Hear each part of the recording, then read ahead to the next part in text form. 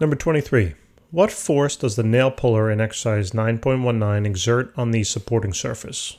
The nail puller has a mass of 2.1 kilograms. All right, so you might have to reference uh, number 19 in this chapter. Uh, however, I'll give you the important uh, information here as well. So the uh, basically we're trying to find the force that the nail puller exerts on the supporting surface. So that is the force right here at this particular location. Okay. Um, now, if we think about the types of forces uh, in this problem, um, we do have uh, three types of forces. We have the input force of the hand, right, pushing down. Now that force uh, was given, or actually I don't think it was given, I think we calculated it was 50 newtons. All right. The uh, output force uh, was, I think it was 1250 if I remember correctly. So that was also pointing up. Okay. And then there's now also, and that's in terms of newtons, and now they also gave us the mass of the nail puller. So that mass uh, is right experiencing the force due to gravity, and therefore it has a certain weight to it, and that weight will also be pointing down. So let's just calculate that quickly. We'll do 2.1 times 9.8. So the weight of the nail puller is about 20.58. So I'll just write the whole value here, 20.58. Okay, newtons. Uh, so now, if we're trying to find now the uh, force that the nail puller is, ex is exerting on the surface, okay, we have to take these three forces into account. So what you might do here is you might say, well, okay, great. All I got to do is this force is pointing up. These two are pointing down. So basically just take this and then subtract these two out. Uh, that would actually lead to the incorrect answer.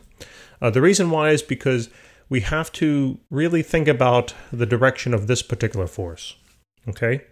Now remember, we're trying to find the uh, force that the nail puller exerts on this supporting surface here. Okay. And therefore, we are concerned about forces acting on the surface, uh, not by the surface, right? So what are the forces acting on this particular surface? Well, again, it's going to be the force downward of the 50 newtons, the weight of the nail puller, and then actually the reaction force here of the uh, output force. Now that reaction force is actually going to be pointing downward, okay? And if you think about it, that should that should make sense there, right? In order in order for this force to be pointing upwards, all right, this force pointing upwards basically is the force that the surface here is pointing upward, all right, on that nail.